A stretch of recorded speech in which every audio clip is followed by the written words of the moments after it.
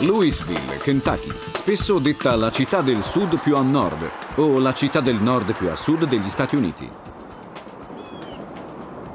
Mohamed Ali nasce qui, nel gennaio del 1942. Oggi è il figlio prediletto di Louisville, ma è cresciuto in una città che applicava le leggi di Jim Crow sulla segregazione razziale.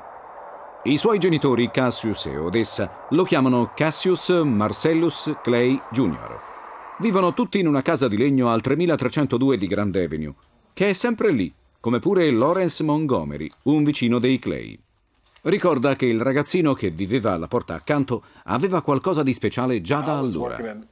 Io durante la notte lavoravo all'ufficio postale.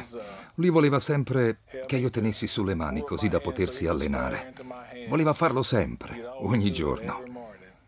Poi voleva correre per arrivare a scuola. Correva dietro l'autobus. Non voleva prenderlo, ma solo corrergli dietro.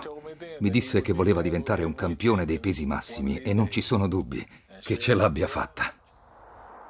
Il futuro campione è solito allenarsi sotto questo albero di cedro e inizia a boxare perché vuole essere pronto qualora si imbattesse nel ladro che ha rubato la sua bici.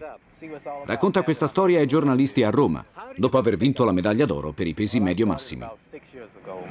La mia bici venne rubata e mio cugino, che era un pugile, anche se non aveva mai avuto successo, mi disse che mi avrebbe allenato e che se mai avessi incontrato il tizio che aveva rubato la mia bici, avrei saputo come combatterlo, come difendermi. Mi portò in palestra, ma in realtà lui interruppe poco dopo, mentre io continuai. Hai preso l'uomo che ti ha rubato la bici? No, mai.